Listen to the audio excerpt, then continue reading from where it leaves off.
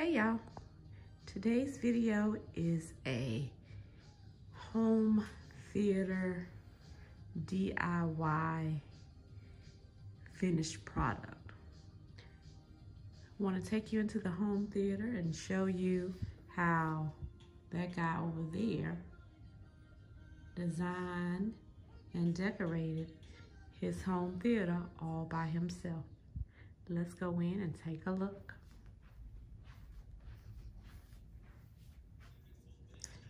Welcome to Rod's Boom Boom Room. Or, as normal people will call it, the home theater. He has really taken his time and designed and decorated this room. He says it's not complete. I say there's nothing else that needs to be purchased for this room, but who am I? So just some of the features that he put in here. We'll start off with Alexa, turn on big screen. So he has the lights set up to come on with Alexa. I'll make them brighter. And they're on a dimmer so you can brighten them or dim them to your ch choosing. Now, one thing that he wanted were sconces, which we were not able to get at the time of the build, but I think he still made the room work even without them. Other features that he has with the lighting would be Alexa, turn on movie room. As you can see, he has the lights that come on.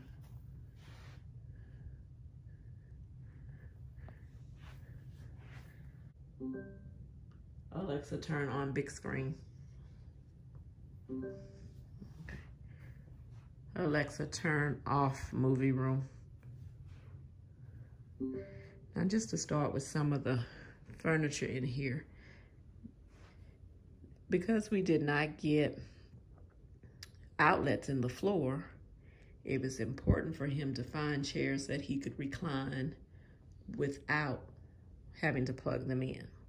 So these chairs, the couch back there, the ottoman, we found all of these in Macy's. And we're able to uh, get these. These are just simple recline push back. So you just sit in the chair and push back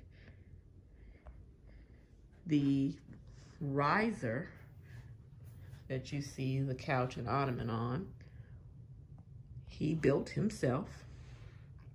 And I'll insert some still photos of that project happening.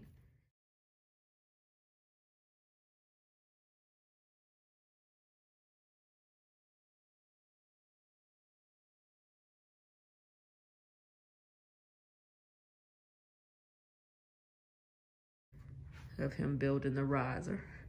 He did paint the walls himself.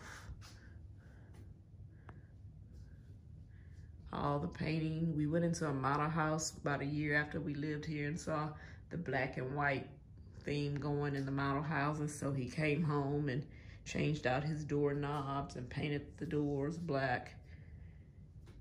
Um, all of the picture frames that you see, these are all from Hobby Lobby. And then he just ordered his posters online that he put inside the frames. The screen he ordered online and uh, we started out with one screen, wasn't big enough and he upgraded to this screen. I feel like this is like 135. I'm not sure, but I had to help put that together. That was a, a chore. But the um, cabinets that you see here, here, here, these are Ikea. Got these from Ikea.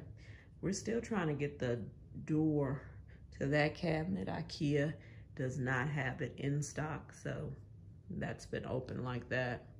There's a frosted door that's trimmed in the cream color that he's been wanting to put on there, but they don't have it. A lot of the uh, wall decor, Hobby Lobby, popcorn machine, he ordered that through Amazon.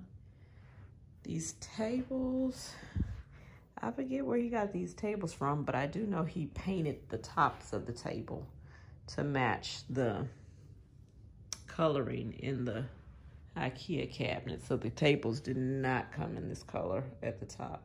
He painted that. Uh, now all the electrical stuff, like the projector, I'm not, I mean, he ordered it, but I don't know anything about the specs and all that stuff. Speakers, the house was wired with speakers. There are speakers behind the screen. I think there are three, two speakers behind the screen that the house came wired with.